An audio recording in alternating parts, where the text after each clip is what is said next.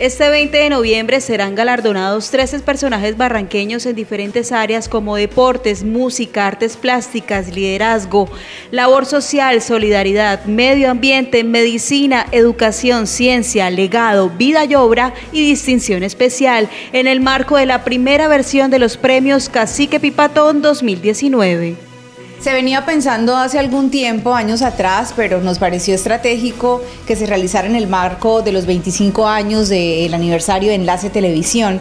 Esta eh, celebración se realizará en noviembre 20, cuando Enlace Televisión exalte eh, la labor de 12 barranqueños, ciudadanos barranqueños que están realizando una, una labor distinguida, no solamente en Barranca Bermeja, sino también en otros espacios de Colombia y del mundo. Esta primera versión de los premios Cacique Pipatón 2019 busca por medio de tres estatuillas brindarle homenaje a estos personajes que con sus labores de manera notoria han impactado en diferentes sectores de Barranca Bermeja.